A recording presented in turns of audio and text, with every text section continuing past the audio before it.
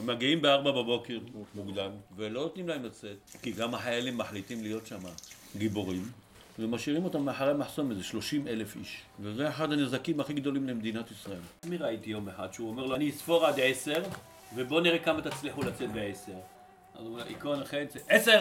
לא יכול להיות שאנחנו נתנהג אליהם בצורה כזאת. המחסום 300 זה המחסום הכי בעייתי.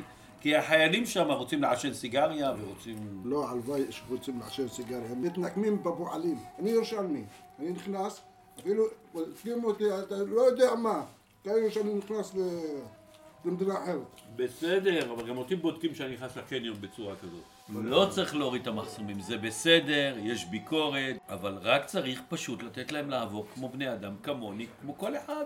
אם תשאל פלסטינאי, ממי אתה מפחד יותר, משוטר פלסטינאי או משוטר ישראלי, ברור שהוא יגיד לך שוטר פלסטינאי. אנחנו צריכים לחיות אותם אם נרצה או לא נרצה. הם חלק מאיתנו ואנחנו צריכים אותם. וגם בלעדיהם אנחנו לא כל כך יכולים להסתדר.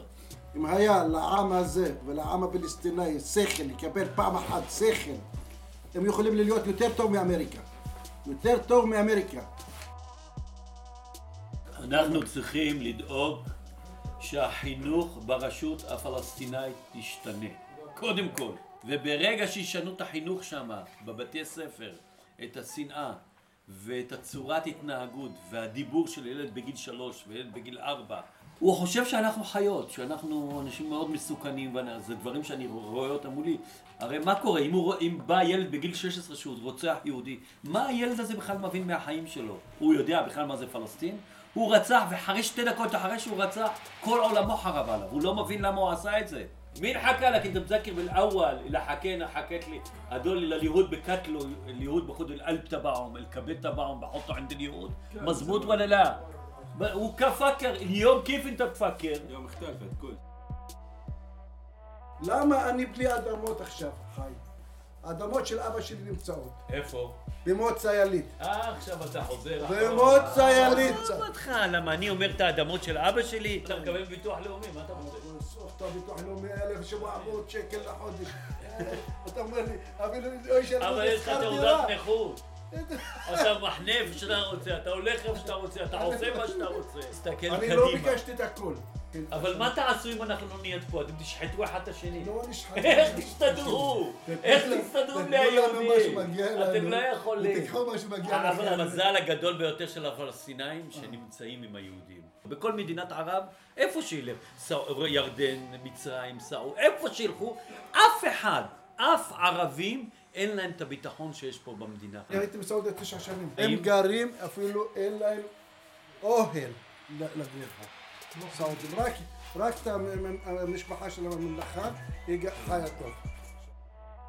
אני והאחים שלי, והחיות שלי, אין לנו מאיפה להביא, לבנות לילדים שלנו. כי ביבי זה הכלכלה של ביבי, הגאון, איינשטיין, שהוא, שהוא מכיר רק באנשים העשירים. נכון. זוג צעיר שעובדים שניהם ביחד, הם יכולים לחיות? צודק, אז זה בבקשה. אתה צודק במאה אחוז. אז הבעיה שלך, זאת אומרת שנהיית בעייתי בדיוק, בדיוק כמו הישראלים. ביום שהפלסטינאים יבינו שהדרך, לא דרך רימונים, לא דרך סכינים, לא דרך כל זה, אפשר להגיע, יכולים לתת ליהודים לאכול חרא הכי גדול.